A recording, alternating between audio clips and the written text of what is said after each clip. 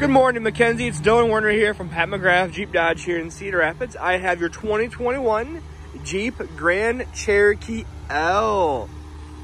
This thing is amazing. I love the new L's. I think they did an amazing job with them. I'm gonna go ahead and show you the video here. I always think videos are way better than pictures. You can see a lot more and they're just better overall.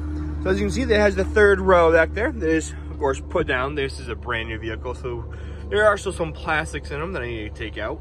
You do have outlets back here, which is a really cool feature. Go ahead and hop on in here.